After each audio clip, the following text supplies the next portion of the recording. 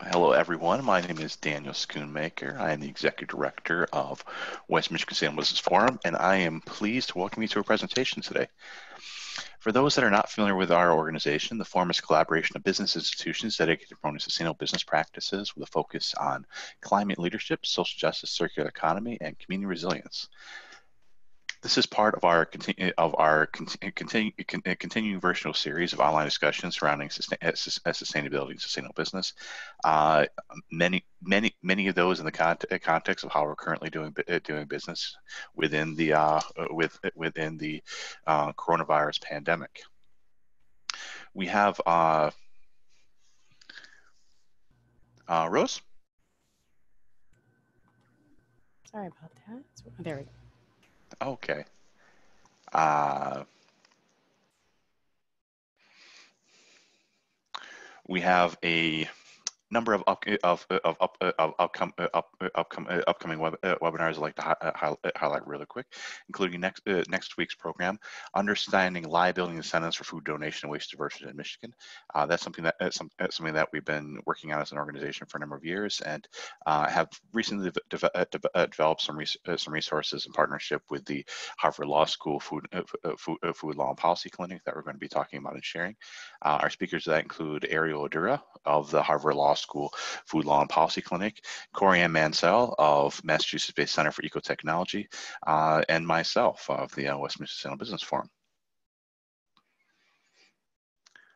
The following week, we're, we're, we'll, we'll be talking about can Michigan's cannabis industry achieve equity and prosperity for an online uh, on, on, online forum on August 6th, at, also, at noon, featuring Mar, uh, Marjo Bruner of Perpetual Harvest Sustainable Solutions, Tammy Vandenberg of the Meanwhile Pyramid Scheme, Decriminalized GR and the West Michigan Cannabis Skill, and Denavia Moget of Flourish, Black and Brown Cannabis Skill and Equity PAC.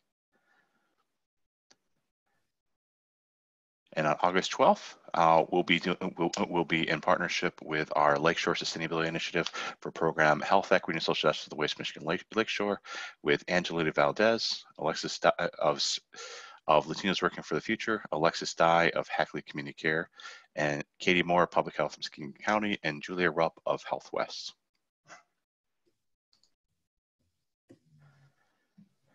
You will receive a link to a video of today's program with feedback survey and any no initial notes that, uh, that come out of today's program and email following this webinar. Uh, this series and all of our programs are primarily funded through membership donations. If you're not yet a member of our organization, I encourage you to consider becoming one. There's never been a, been a greater time to do so or a, a greater need. Uh, we do offer both individual and corporate memberships. And to that effect, I'd like to recognize uh, two individual members, Ryan Seeley and Dana, Dana Hill, Hill, uh, Hiltunen. We'd also like to recognize a new corporate member, uh, Holland-based Collective Idea. You may also be interested in learning about our various working groups, including those with upcoming, meet meetings, such as our Solid Waste Task Force on July 20, on July 29 next week, our Lake Lakeshore Leadership Committee, uh, uh which will meet next on July 6th, as well as our Green, uh, uh Green, uh, Green, uh, Green Infrastructure Group, group and our Climate Leadership Working Group. please email please email us to get, to get involved with, with any of those initiatives. Now I'd like to introduce introduce our panelists for our program today, delving into indoor air pollution and sick, sick building syndrome. Please welcome Carol Helsel. General Manager of Third Coast, uh, Third, uh, Third Coast, uh, Third Coast Test and Balance, an active forum member. And Alice Delia, Laboratory Director, Director for Prism Analytical Technologies. Thank you for being with us today, Carol and Alice. Thank you for having us. Yeah, thank you. I'm happy to no, be here. And Carol, I'm going to turn the screen over to you if you'd like to uh, like to share your presentation.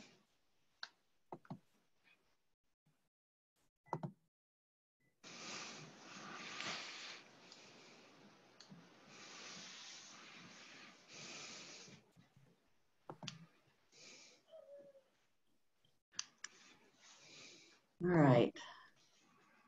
Everybody see that? Yes, we can. All right. So we're going to talk about sick building syndrome today. And I'm going to cover kind of what it is and some differences with um, building related illnesses. We're going to talk a little bit about COVID, how that fits in, and what some of the causes might be.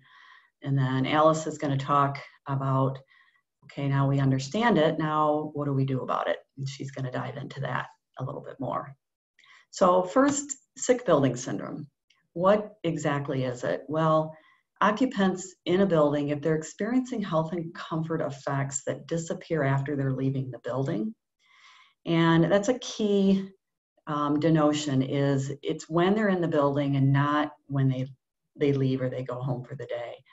And there's no specific illness or cause that can be identified. So it's just kind of this mystery. You go to work and you don't feel good, and then when you leave, you feel better. Now, ASHRAE, and for those who don't know what that is, it's the American Society of Heating, Refrigeration, and Air Conditioning Engineers. And they're the recognized expert nationally for um, heating and air conditioning cooling systems. And they have a statement that says if 20% or more complain of symptoms for more than a couple weeks and observe relief when leaving, then it could be SBS or sick building syndrome. Um, and keep in mind that 20%, if you have an office that is maybe um, 10 people, it can only be a couple people. So we're not necessarily talking about um, half the office or a lot of people. And I wanted to note a difference in sick building syndrome versus what occurs in a high stress environment. So sometimes when employees or occupants are complaining of feeling sick within the workplace, um, someone may may question they themselves may question well maybe it's just i have a real stressful job i have a lot going on there's just it, it could be stress related or i don't work in a good culture and maybe it's related to that and again, if we come back to the difference would be if it's sick building syndrome or might be sick building syndrome, your symptoms are going to go away when you leave. If it's a high stress environment, you're going to feel that when you leave. When you leave work and go about your day, you're still going to have those those feelings of illness and feelings of not um, just not being healthy. There's another kind of similar uh, syndrome, I guess, called building related illness, and I just wanted to mention this so, building related illnesses are when occupants experience health issues that are clearly defined and have clearly identifiable causes. So, what I mean by that is uh, just a couple of examples. So, one is hypersensitivity pneumonitis. And what that would be is let's say you work in an environment that has a lot of dust or small particles and you specifically are contracting a lung illness because of that. Um, Legionnaire's disease is another example. And Legionnaire's disease is contained, it's a Legionella bacteria that's located in water, and that can be um, gotten into your or absorbed into your body through in, inhaling air particles in your air conditioning system. So if you have a cooling tower, water cooled tower, or even things like drinking fountains can carry that particular bacteria. So that's what building related illnesses are. There's a very clear health issue and an identifiable cause. Build it with sick building syndrome though, uh, there's not really necessarily a cause that we can attribute it to. So I wanted to talk a little bit about, when we talk about health effects or symptoms or illnesses that you may experience, what are those? And there are five generally recognized categories of symptoms. The first one is mucous membrane irritation. So this would be something that affects the eyes, nose, and throat. Uh, could be things like stuffy nose, dry cough, increased thirst, dry eyes, um, any of those ear, ear, nose, and throat type um, symptoms that you may be having. And next is neuropsychiatric disturbances. So these are things like fatigue, headache, confusion, and dizziness. And of these, headache tends to be the more common one that people might be observing. And another area is skin disorders.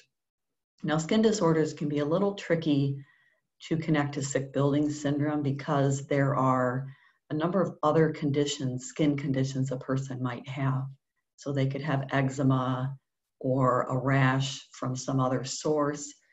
And so it can be a little harder to connect a skin disorder to sick building syndrome, but it can exist. So that's one of the categories. The next are asthma like symptoms. So this would be tight chest, difficulties in breathing. It could be someone who doesn't have asthma, and but when they're in the building, they experience asthma like symptoms. And they may actually think they are coming down with asthma and seek medical attention for that because they have the symptoms that mimic asthma. You also have a person that may already have asthma and could have those symptoms exacerbated. So they're generally managing their asthma well, but when they're in the building, not so much. And then the last area is unpleasant odors and taste sensations that can lead to nausea and headaches too. So think about, I, I know a number of people, myself included, that have been around people that are wearing heavy perfume. And I worked with someone once who wore heavy perfume and had uh, management had a couple conversations with this person. Um, didn't change much, but when I was around that person, I didn't feel well. And then other odors too, there could be a, a person who's a smoker who walks in the building smelling of smoke. So that's another um, something that can occur and can lead to nausea and headaches and, and things like that. So when you think about the symptoms and these five categories and what a person might be experiencing or feeling, now let's talk about COVID 19 because that adds a different dynamic into all of this. So when you think about COVID 19 coming into the picture, um, one consideration is the virus itself being brought into the workplace from the employee's personal environment. So we've talked about lung type issues and lung type symptoms. So coughing, headache, sore throat, difficulty breathing. Well, all of that are, or all of those are symptoms of, or can be symptoms of COVID 19. So now you have a different dynamic in place of the heightened awareness of COVID 19 and the prevalence of it um, in our workplaces and in our buildings. Well, now that's another consideration to have if somebody is sick. And something else to think about along with this so, your employees are more exposed to sick building syndrome. And what I mean by that is, you think about people that are coming back into the workplace, they may be what I'm going to call quarantined at the workplace. And what I mean by that is most employees in the workplace are not as mobile as they had been in the past. So maybe if you are someone who's a salesperson, for example, rather than making sales calls to people, you may be making phone calls rather than in person visits. Meetings are done more virtually now through Zoom. And employees, I know in the office I work in, employees are encouraged to remain more in their work area and not so much roam around the building or go to someone's office to meet with them, maybe try to do that via phone or a video conference of some sort. And it's interesting that the occupation that tends to experience sick building syndrome the most are clerical or administrative staff.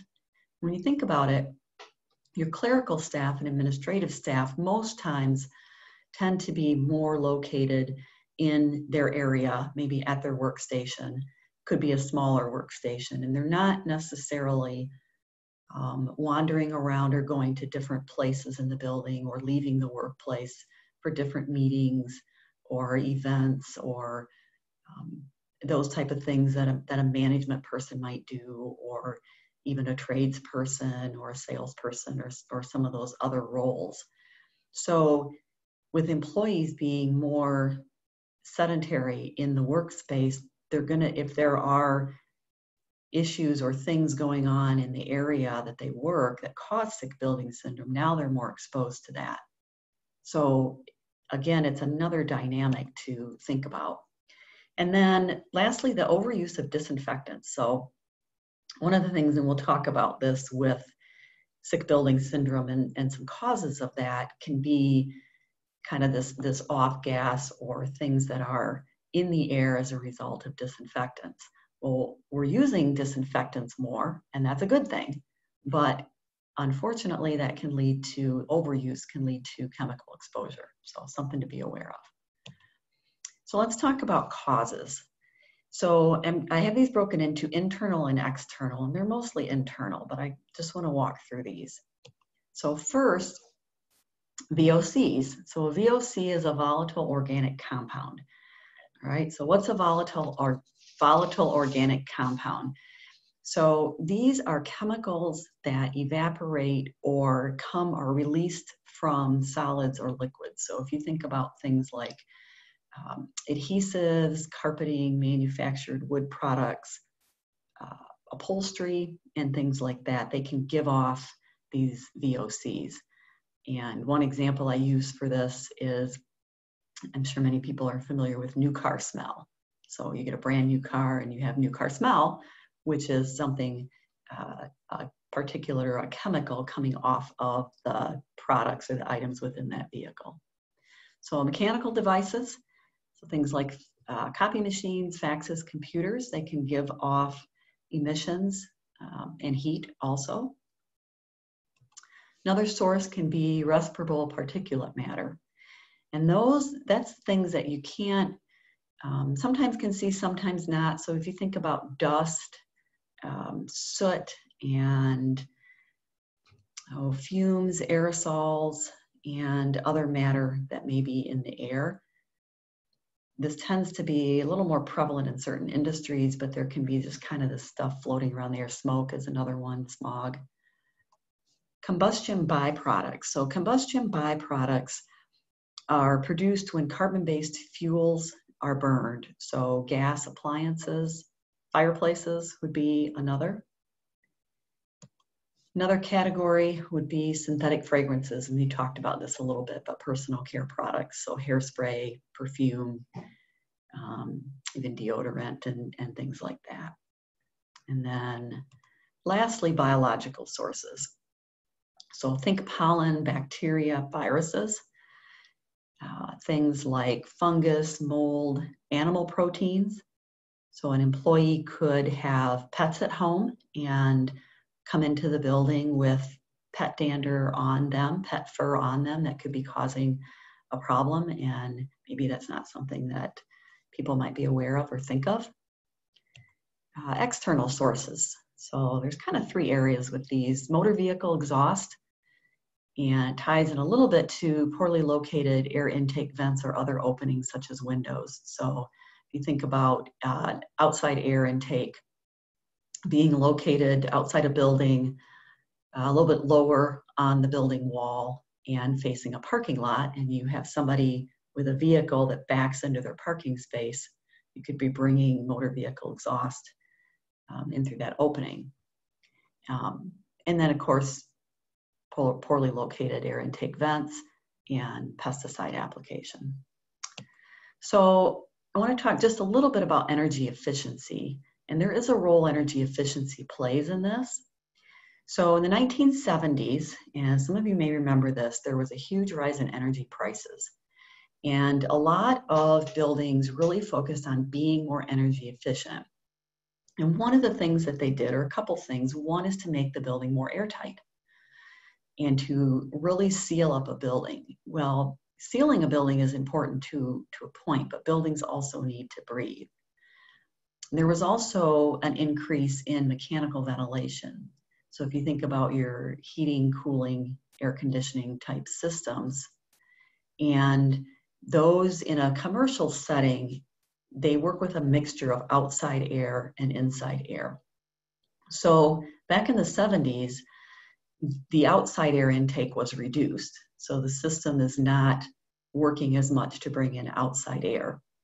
And then also there were new synthetic materials being produced. So designers were starting to um, just have some new materials coming out. And these materials were giving off VOCs. So in our efforts to be energy conscious, we kind of created some problems that we maybe didn't realize that we did. So one comment on the, the synthetic materials, when it gets into the later 1970s, there was more of an effort to start to regulate that and um, really monitor and regulate to reduce that. So when we think about sick building syndrome and, and, issues, they most likely or most often occur in buildings, number one, that are mechanically ventilated, so that's your, your systems that we talked about have poor or ineffective layouts. And that um, kind of added into that, I'm including using materials, so carpet and fabrics that really aren't the best. And have poor or no active maintenance arrangements. So these are just some common things that you might find in buildings with a SBS issue. So I want to run through prevention in remodeling or renovation projects. Now, sometimes if you're doing a project, you may be bringing in a contractor to do that. But many times for a small project, it might just be done in house. And these are just things that to be aware of and to take note of. So, first, ensuring that wiring has adequate grounding. And second, if you think about using stone, ceramic, or hardwood flooring instead of carpet. So, carpet, while it has some advantages, it can be a challenge with uh, the what it's off gassing or the chemicals that are coming off of that carpet. Ensure proper waterproofing. So molds can also cause issues in a building. So standing water, things that are wet. Avoid synthetic or treated upholstery fabrics if possible. So maybe look at other fabrics or fabrics that have a low VOC in your design efforts. Um, allow time for building material to off-gas pollutants. And this one can be just a little bit tricky because each uh, chemical or each product has a different rate of off-gassing. So I don't know, and Alice may touch on this, I don't know if there's a good rule of thumb for that, but again, it gets back to that new car smell. So if you are remodeling in an area of the building and there are strong odors in there because of the products you've used, maybe give a little bit of time and increase the ventilation to kind of air that out first. Create sufficient green space. Green space is always helpful for reducing um, CO2. Dispose of building materials properly. Use lighting and colors that are pleasing to the senses. So sometimes a person who maybe has a headache, it could just simply be related to the wrong kind of lighting in the building or colors and patterns that really um, can bother a person. So just be sensitive to that when you're planning. Open office layout is best for ventilation uh, with consideration for COVID 19. So, with COVID 19, now we're trying to isolate people more and maybe put up plexiglass and separate people. So, it's kind of a balancing um, that you need to do. And then just control debris, dust, and other particles as best you can. And then what about daily operations? What are some things you can do in your daily operations to reduce sick building syndrome? One is properly maintain the building. So I hear um, statistics out there, and, and I see it in the work that we do, that a lot of times buildings really do not have a very good uh, preventative maintenance program. They may have a program in place, but it may not always be followed. Um, and not to you know not to say somebody's not doing that but there are people that are doing an excellent job with that. But actually adhering to preventative maintenance schedules are is very important as is fixing things and making repairs as needed. Ensure ventilation, ventilation meets ASHRAE standards. So ASHRAE has a couple of standards out there. Um, i think one is 170 and the other one is uh, maybe 62.1. I'm kind of going off top of my head, but um, it's something you can certainly look up for what their ventilation standards are. And replace um, wet carpet, wet ceiling tiles, stained ceiling tiles, again, to try to keep um, molds out of the building. Minimize the use of electronic items and unplug idling devices. So if you have a copy machine that goes into kind of a sleep mode, that's a good thing store paint, solvents, pesticides, and adhesives in closed containers and well ventilated areas. Um, again, another good thing. And then humidity level, normal recommendations for humidity is 40 to 60%. But with COVID, um, really the recommendations are more in the 50 to 60%. Uh, there is some information out there that a little bit higher humidity levels are good with in dealing with the virus and um, keeping it away. So that's kind of it for my portion of the presentation. Um, thank you, everyone. And now we're going to get to hear from Alice, um, sharing her expertise and kind of what we do about all this.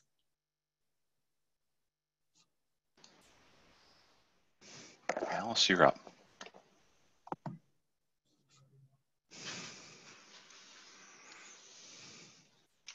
Thank you, Carol. That was excellent, as always. Interesting, uh, interesting uh, sick building syndrome and, and buildings in general are just a fascinating subject. They're very, um, they're kind of like a person, you know, there's a lot of different aspects to them. Um, they can kind of almost seem moody sometimes. Uh, you know, as you said, you know, maintenance and, and, and taking care of the building itself is, is, a, is a key part of, of keeping the building itself healthy. So, uh, so I'm gonna talk about um, some of the things that can contribute to it, um, getting a bit more uh, specific in terms of products and things like that, um, as well as you know, what we can do to actually limit or minimize sick building syndrome wherever possible. So uh, as Carol um, said very uh, uh cogently, um, just briefly, sick building syndrome versus building related illness, um, people do often refer to them as the same thing. Uh, but sick building syndrome is, as Carol said, is mostly irritation symptoms that are in the building itself, go away quickly once you leave.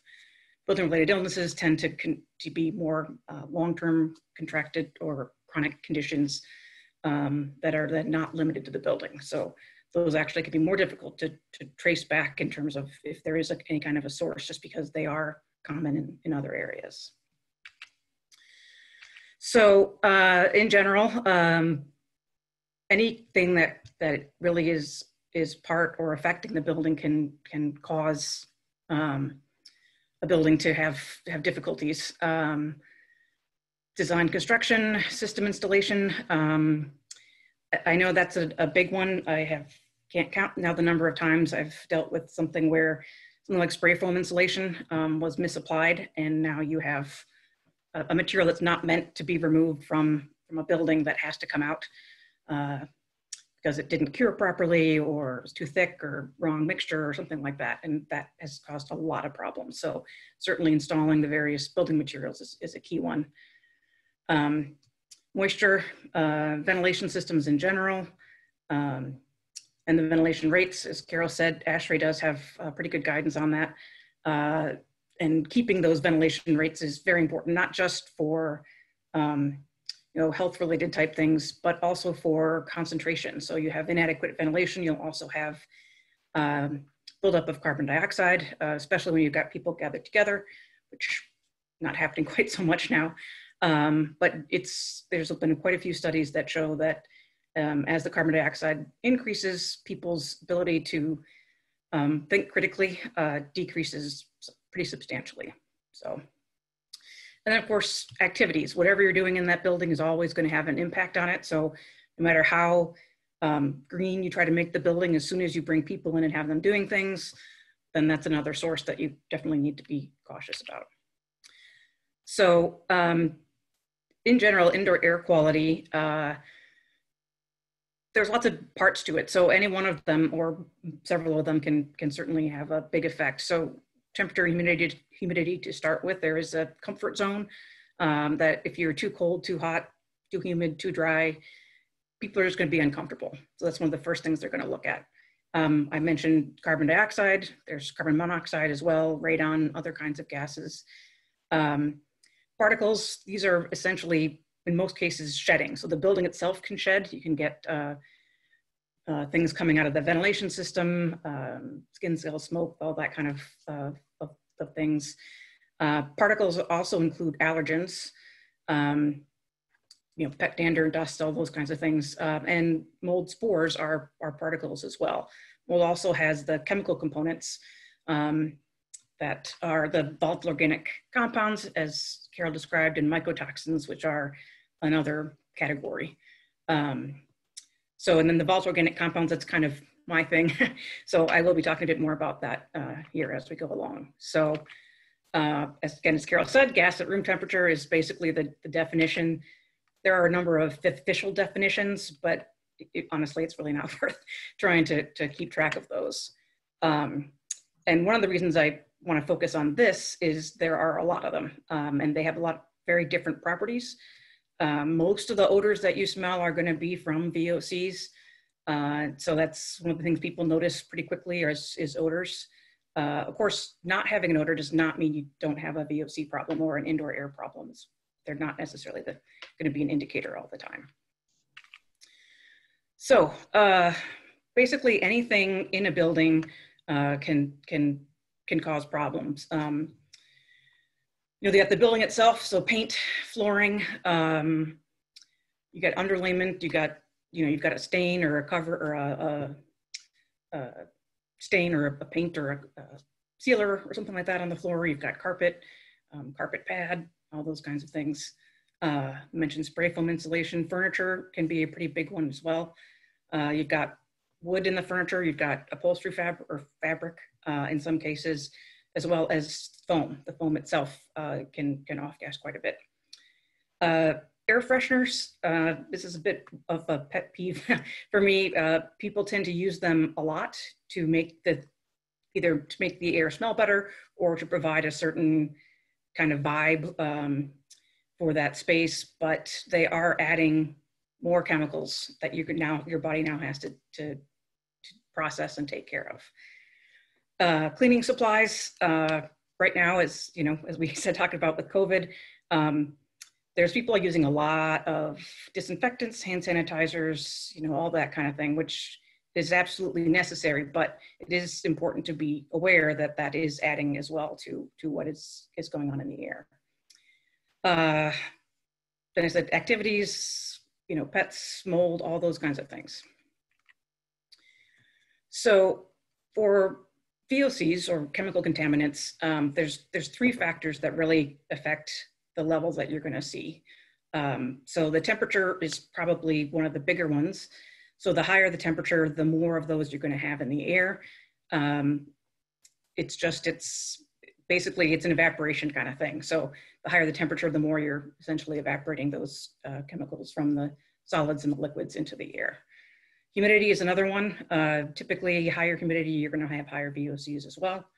And of course, the other really big one is the ventilation rates. So the higher the ventilation, the lower the VOCs. So you kind of try to balance those out and, and uh, find a happy medium in there.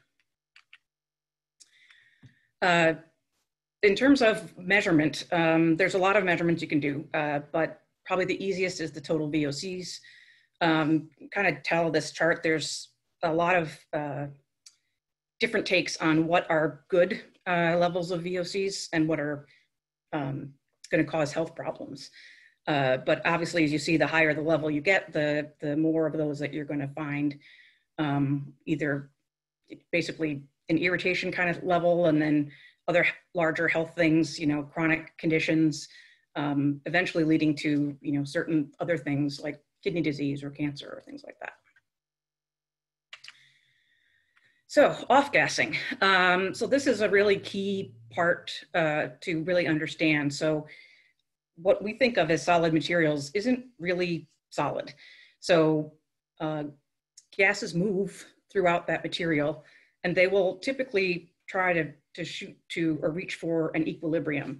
So if there's a lot in the material and not so much in the air, that those gases in the material are gonna slowly migrate to the surface get released from the surface and then swept away um, by the air currents or the ventilation system. And then as those are moved out of the way, then the, basically the process keeps going, it starts again.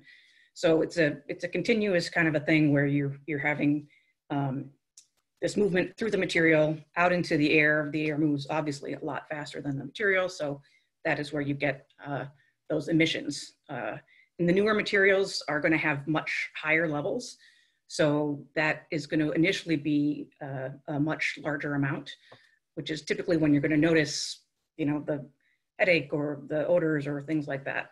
Uh, but the off-gassing process does typically take a long time, so it depends on you know, what the amount was initially, the size of that particular object, uh, and as well as the composition of, of the chemicals that are in it. So um, paint is one that people ask questions about a lot. Um, you know, how long after I painted, you know, is the paint basically gone? Uh, and and typically it's actually can be years. Uh, you only notice it for the first couple, three weeks maybe. Uh, and after that, the level's gone down enough that it's not noticeable, but it is still present. Uh, now, of course, if you're gonna do a lot of ventilation and maybe up temperature a little bit so that, that you increase that rate of off-gassing, you'll increase the whole process uh, and, and, shorten that time period, but it, it still often is gonna take a long time. Uh, remember, you don't necessarily notice it um, because it's not doesn't have an odor or doesn't cause a problem, but does add to the load.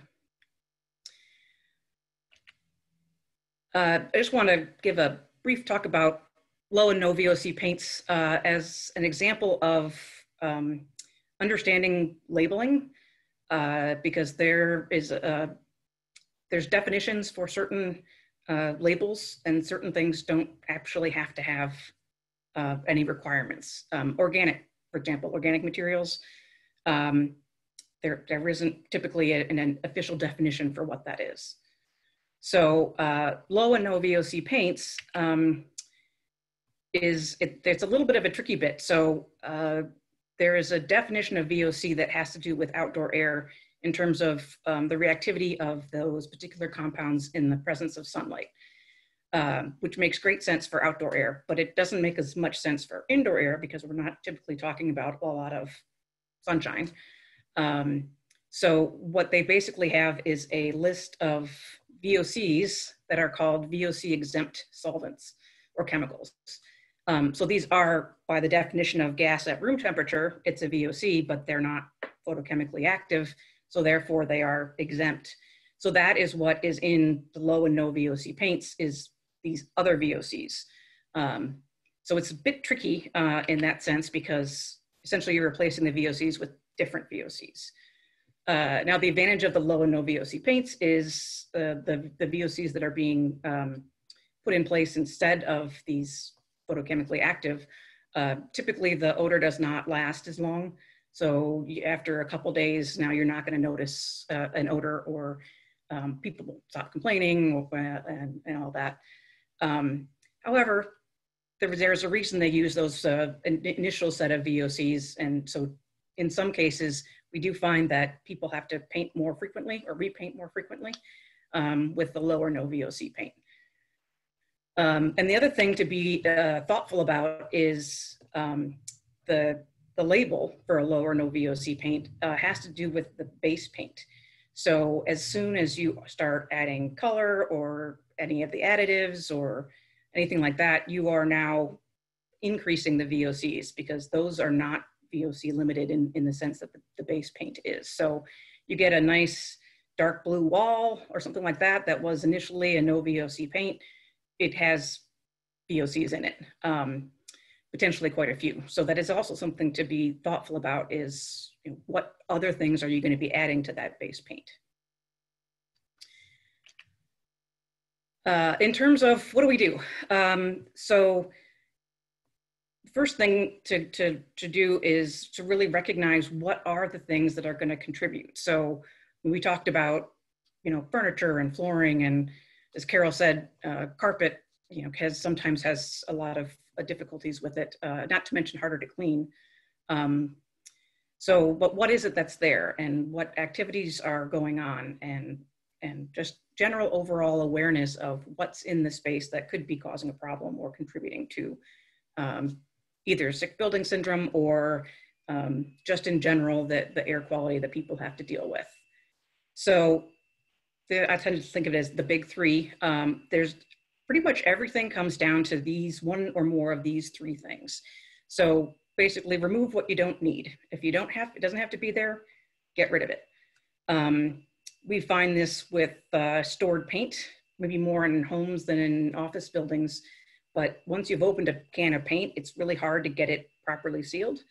So you get a bunch of those is sitting in some closet somewhere, um, just ready for, you know, the next thing. Um, and that potentially could have a big contribution for uh, the uh, uh, the paint itself. So people will say, "Well, why why is there still paint in the air?" And you can say, "Well, it's because you've got 20 cans of paint um, in this closet over here."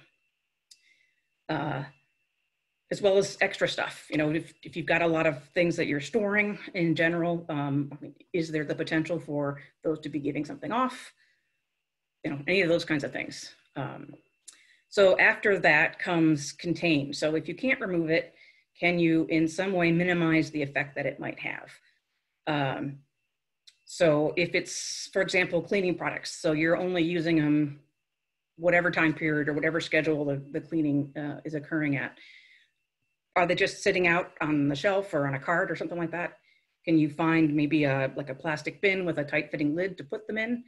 Uh, most of these products, they don't seal properly. Um, they're not meant to really. So you always have uh, what's termed fugitive emissions. Basically, it's just kind of coming out of the of the container itself. I, I always think of those uh, those wet wipes. You know, got the little flip top plastic lid on. Um, that is by no means uh, a solid seal. So that would be a perfect example of something that you could be putting it into something more um, that is going to contain it better. In something, in the case of something like that, even just you know, uh, like a zipper bag, like a Ziploc bag, will be better than nothing because it will still contain that to some extent. And then finally, dilute. So if you can't remove it, you can't contain it, or those measures are not sufficient, then you really are looking at diluting um, whatever's left. So ventilation would be probably the primary way to do that. Um, if that is either, again, insufficient or you just can't do it for whatever reasons, the system isn't built for it, um, it'll make it you know too much of a of a air changeover. Uh, then you can also look at some sort of an air cleaner or air purifier. So there are a lot of different kinds. Um, some of them are designed only for particles. Those usually have what's called a HEPA filter in them. Um, so if you see something that's got that uh, that uh, acronym on it, that's what it's for, is to dilute or um, filter out particles. The higher the uh, particle or the HEPA filter number, the MERV rating on the HEPA filter, the more um, smaller sizes it will filter out. So it'll filter out more effectively the smaller type things. Um, then there are those that are dealing with the chemical contaminants. So those are there's several different uh, kinds of those. Um, you can have something that's just going to absorb them, something that's going to convert them to something else, something that's going to draw them into something that will then hold them. Uh, and then you get the biological part, um, which would be certainly viruses, bacteria, molds. Um, and that is often using something like a UV light or something like that uh, to basically inactivate that, uh, that virus, bacteria, or mold. So those are the basic things that, uh, that come up in terms of what do you do about this problem? Uh, as I said, it pretty much comes down to one or more of these three. Uh, but again, the first thing you have to do is look around and see what you might want to remove or contain, or what areas are worse. Is there a reason why this area over here is worse than this one? Um, and don't forget, yes, the occupants, as you said, Carol, the uh, perfume or or whatever it is that they somebody loves to have, it's potentially going to be causing a problem. Uh, more and more places are going to something on the order of a fragrance-free environment. Uh, it's, I think, definitely helpful, especially for people who are more sensitive, who have asthma or some other respiratory condition. So, um, just a quick summary. Lots of things are going to be affecting the indoor environment. Um, you got the building sources, you got the occupant sources, combination thereof. Uh, in general, occupant sources are easier to address or get rid of than building sources. Uh, so that is typically where people will start. There's contaminants everywhere, so you're not going to get rid of them all. It's just a matter of understanding where they are and, and minimizing them to the extent possible. temperature, humidity, and ventilation. Uh, another of the big three, I guess you could you could call it. Uh, again, understanding the the uh, the interaction between those is is a critical factor. Uh, TVOC is a probably the only number you're going to really hear about uh, if somebody is talking about chemical contaminants. Uh, just a, a cautionary note, though, that you don't know anything about the composition uh, of what's in that TVOC. So you could have a very low value and yet you've got something in it that's going to be causing a big problem. So just something to keep aware of that if you do are looking at those kinds of things and you are do have a concern, you may need to get something a bit more specific. Um, uh, emission and absorption, that's basically the, the that's basically what off-gassing is. You're emitting or you're absorbing. Um, and at some point, you're going to be doing both at the same time. So um, labels, like I said, organic, chemical free, all natural. Um, those are just labels. Um, chemical free is a favorite of mine because you can't actually have anything that's chemical free. Uh, so I always laugh when I when I see that one. Uh, and then always remember to remove, contain, and dilute. So that's all I have for today. Um, and I have my email there, and I'm sure uh, your, my rest of my contact information as well as Carol's will, will come out with the, the link to the presentation. Thank you all for attending.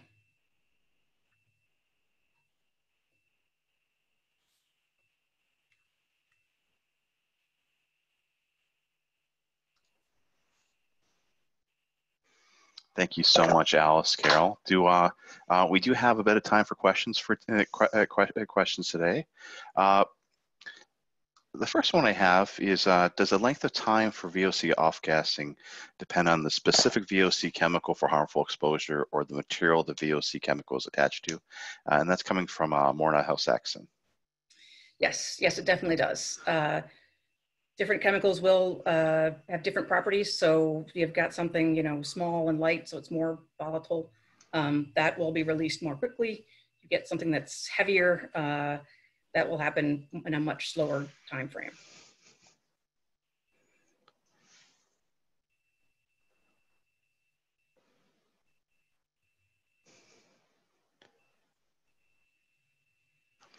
Is there an action level for TVOC? Uh, not officially. Um, unofficially, 500 is is kind of the that you want to be under 500. That's what most green building uh, programs use. Some of them use 300. Uh, typically in buildings, we're probably about twice or three times that. That's that's a fairly typical level to be at. I'm not sure if this one this one requires any further clarification, but is there a, uh, what is the longest time for VOC off gassing? Potentially infinite. um, it depends again on what it is, what a material, how much of it, all those kinds of things. Uh, I have seen uh, things that will take years to off gas to the level where they're basically undetectable. Uh, it could take a week, it could take you know, a month. Is it a safe assumption that if you're in an indoor environment that there's always some off gassing going on or is that? Uh... Yes, that is a safe assumption.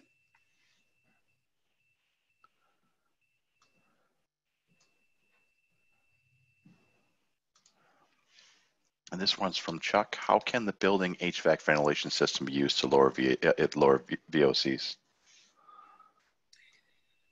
So uh, the ventilation system is going to sweep through um, and, and move the air basically from point A uh, to outside usually, um, or through some sort of a purification uh, filter of some kind. Typically you're bringing outdoor air in because outdoor air, at least in most parts of this country, uh, is, is cleaner uh, from that particular standpoint than indoor air. Um, so you're basically taking X amount and you're in Y amount of air, and now you've quadrupled the amount of air, but the X amount is still the same. So you're basically just spreading it out further. I'll just add um, something to that. That's I think um, Alice mentioned this too. Given that there's VOCs uh, throughout the building, and you're never going to fully get rid of um, all of the the off gassing, and, and just so many other factors, it is important that the HVAC system be working uh, efficiently and working as it's intended to so that it is properly ventilating the building and getting the air out, getting the air circulating. So that is something that's important. And then, and again, as I mentioned, with the COVID 19 being an airborne illness, that factors into that now too. So we do have, another, uh, we have a question from Stephen. Can you talk about chemical sensitivities? Uh, most IAQ complaints aren't caused by elevated concentrations of uh, quote unquote toxic chemicals, but by individual hypersensitivities. Yeah, so yes, somebody can become sensitized to uh, one or more chemicals. Um, in most cases, it's after exposure, large exposure to something. Uh, and then afterward, their body is more sensitive to that, uh, whatever that, again, chemical or chemicals that might be present in the air. For people with chemical sensitivities, in a lot of cases, it, it may not be just one thing, it may be several. And so in general, they try to get the chemicals to the lowest level they possibly can, not focusing just on whatever it is that they happen to be sensitive to, but including everything else that they possibly can, can get. And I may need to, I, I, I, I, may, I may need to follow up, uh, Stephen, if you'd like to ask a follow-up question there. Uh, when you're referring to chemical, you would mean, you would mean man-made chemicals and industrial or commercial products are brought into the building, not, uh, not, not, not chemicals as a colloquial term that could include uh, natural substances. Nope, that includes natural substances as well. Um, okay. Arsenic is a natural substance, but you don't want to Okay. eat it. Um, All right. yeah, wood, for example, any kind of wood product, whether it's engineered or not, is going to give off formaldehyde. It's just one of the things going to be given off by by any biological material. I wanted to, to add too, I think it's important that if an employee um, or occupant has a complaint or has an issue, that that's taken seriously and there's an investigation and a conversation. It could be a, a sensitivity that particular person has, um, but I think that it's important to people to be heard and to know that someone is looking into it and, and someone is concerned. And so then some of those um, sensitivities can be identified that a, a, particular person might have, but even so, there's still some actions that you can take. Maybe it's a little different ventilation in that person's workspace or um, any number of things to, to try to make that situation better. And, and it could be somewhat um, self-caused too. I mean, that orange that got rolled into the back of the drawer or something like that that is now moldy. So, uh, you know, an examination of the actual space itself is also very important because it may be something really simple like that, or it may be really complicated. It could be something with the ventilation system blowing right at that person that's different than the other areas for some reason. Are, uh, are common hy hypersensitivities known? Um, are are they common? Yes and no. Um, I mean, a lot of it depends on the individual person. Uh, there's nothing that I'm aware of that's like a consistent, something that you can put a name on. Uh,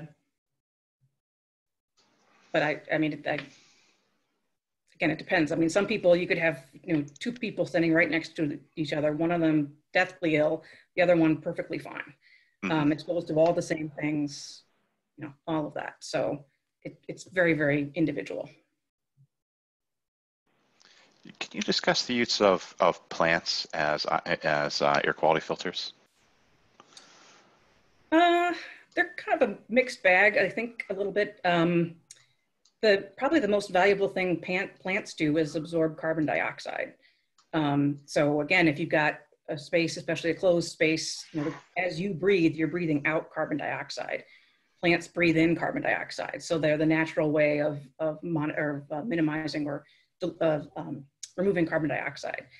In terms of other chemicals, there's been a lot of back and forth on that, and I'm not sure that in the long haul, having two plants in your workspace is going to drastically reduce VOCs. Uh, I think they're nice and there's good for other reasons. I mean, people actually, there have been studies showing that people do work better with plants around them. Um, but in terms of chemical contaminants, I'm not sure that that was is really going to be sufficient. No, it is commonly understood. It, it is uh, commonly believed. In fact, my wife gave me a book a few years ago called uh, uh, "Gardening for Clean Air." That uh, that that uh, that house plants do have an air quality component to them. Is that is that not uh, not as significant as what is commonly believed then? Well, it's hard to say, and a lot of it depends on how many plants you have too. Um, you know, some of the studies that I've seen, it would have far more than you'd expect to see in a normal environment for that for an appreciable effect to be observed. Mm-hmm. Um, different plants have different uh, properties as well. So some of them may work really well at absorbing formaldehyde, um, but don't do very well at absorbing something else, um, and vice versa. So a lot of it depends on the specific plants. I think too, just to um, to add to that, when when we talk about indoor air quality, that's a pretty broad topic, and there are a lot of things that fit underneath that.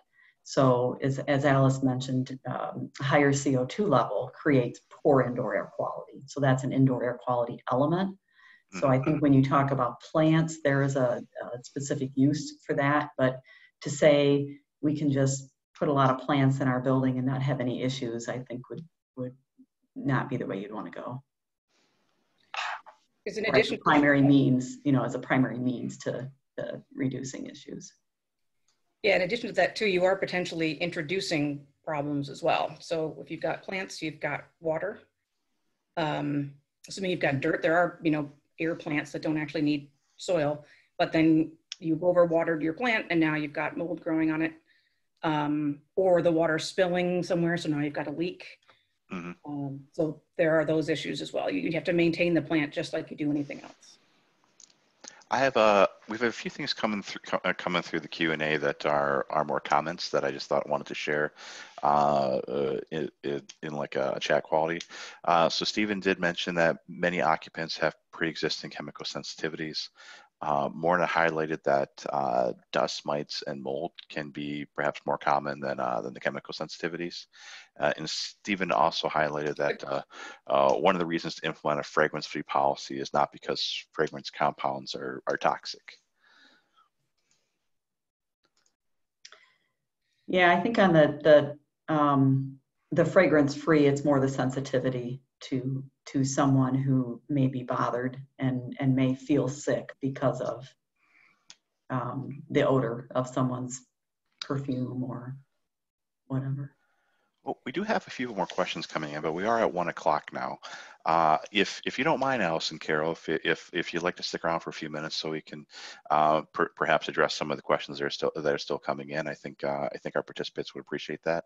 Uh, but but but uh, but for those who uh, would would would would like would like to sign off now and get on with your day. I appreciate you. Uh, uh, uh I appreciate you all com- uh, uh, coming and particip- uh, uh, particip- participating in our program. thank you so much.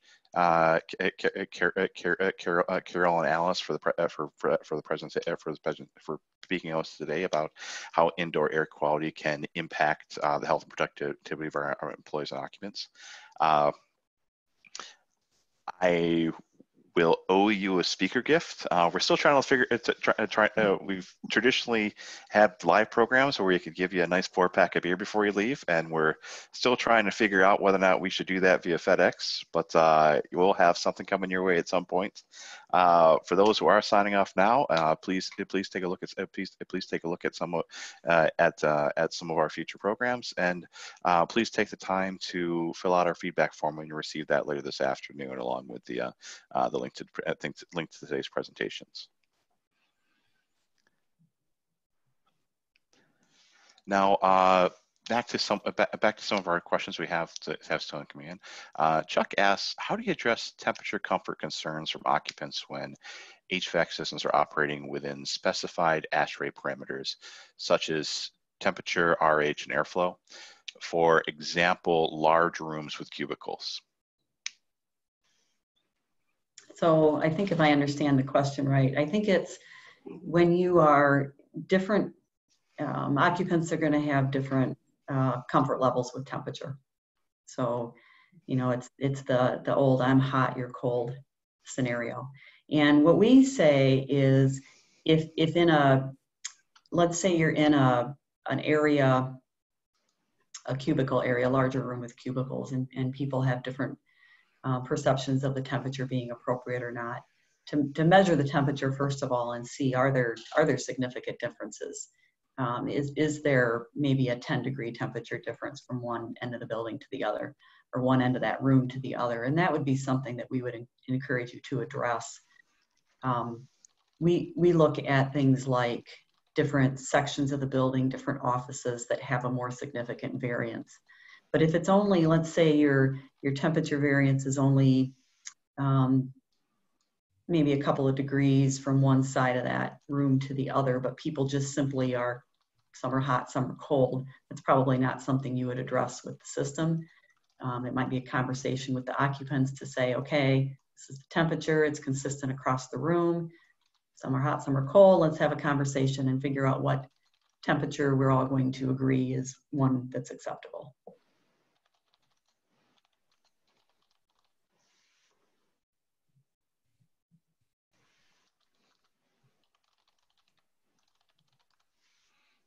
Right. Any last questions or thoughts from uh, before before we wrap up today?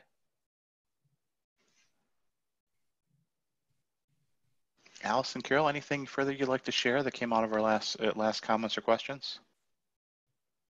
I'll just uh, kind of have a, I guess, a final thought is that I, uh, in the work that we do, we find that this whole subject of indoor air quality um, tends to to be something that I, I think there's some awareness of, or, or people have heard the terminology, but there's not maybe quite as um, much focus on it and everything else everybody has going on in their lives, personal and professional.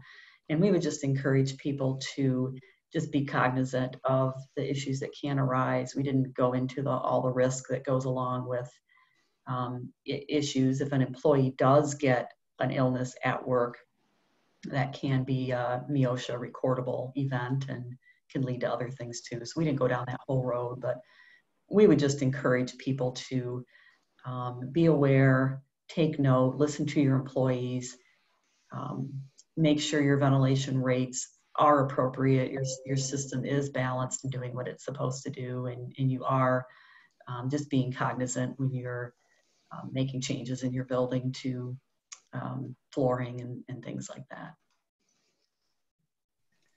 Yeah, and I, I would uh, totally agree on that particular point. Um, I'd also note that with COVID, uh, our work practices have changed quite a bit.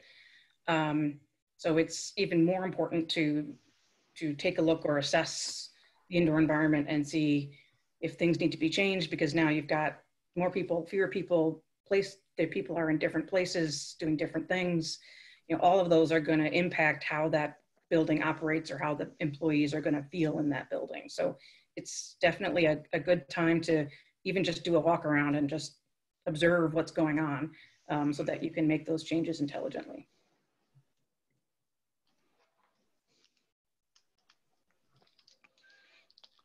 Thank you so much. Uh, thank you so much, Alice and Carol, for taking the effort uh, for take, uh, for take, uh, for taking the, uh, taking the time today. I learned I, I, I learned I, I learned I learned quite a bit, and I hope uh, I, I hope hope I hope all all of our participants found this is found this valuable as well.